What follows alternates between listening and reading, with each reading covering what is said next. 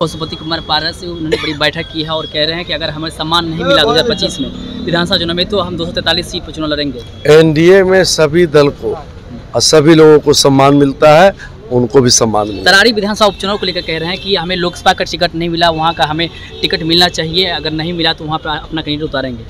तरारी लोकसभा विधानसभा से भारतीय जनता पार्टी के कोटे में है चार उपचुनाव होना है उसमें दो भारतीय जनता पार्टी लड़ेगी एक जदयू हमारे अलायंस पार्टनर लड़ेंगे एक हम वाले लड़ेंगे। मज तेरह हज़ार वोट आया था जमानत जब्त हो गई तरारी में। देखिए ऐसा कुछ बात नहीं है। हमारे ही दल के लोग अगल बगल से लड़ गए थे हमारा ही वोट बट गया था जिसके कारण ऐसा होता लेकिन इस बार हम जीत के दिखाएँगे। अभी 22 से 26 तक जो है विधानसभा चला है। एक दिन भी विधानसभा में वो नहीं गए तो संवैधानिक व्यवस्था से तो उनको कोई मतलब नहीं है। चांदी के कटोरा में चम्मच सोना के चम्मच लेकर के आए हैं तो जनता की समस्या से क्या मतलब ये दिखावा करने के लिए सिर्फ़? नमस्कार स्वागत है आपका लाइव बिहार में। आपके साथ है संजीव सिंह। नेता प्रतिपक्ष तेजस्वी यादव पंद्रह अगस्त के बाद आभार यात्रा पर निकलने वाले हमारे साथ बातचीत करने के लिए बिहार सरकार के मंत्री केदार गुप्ता हैं। क्या कहेंगे? तेजस्वी यादव आभार यात्रा यात्रा पर निकलने वाले अभी तो कौन यात्रा से आए से मालूम है ना? हम्म, बिहार के सबसे बड़ा सदन विधानसभा होता है।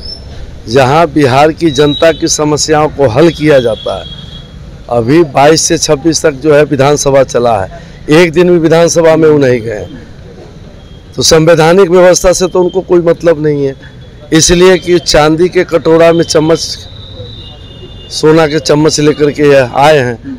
तो जनता की समस्या से क्या मतलब ये दिखावा करने के लिए सिर्फ़ निकले आप ही के एक घटक दल है पशुपति कुमार पारस से उन्होंने बड़ी बैठक की है और कह रहे हैं कि अगर हमें सम्मान नहीं मिला 2025 में विधानसभा चुनाव में तो हम 243 सीट पर चुनाव लड़ेंगे।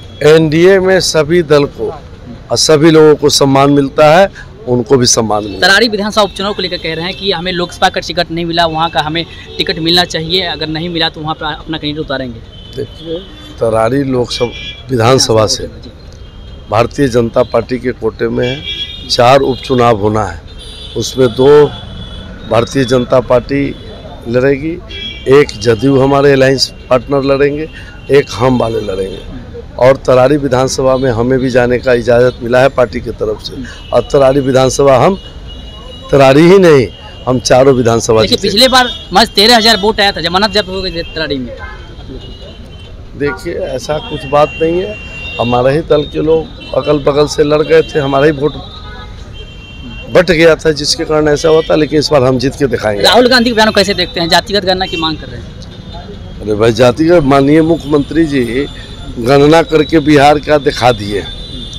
वो सर्वविदित है।